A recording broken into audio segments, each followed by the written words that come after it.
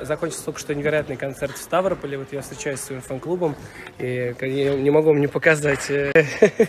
Вот это да! Это реально, да, настоящее? Конечно. Два года. Похож два года? Да. Класс. Спасибо.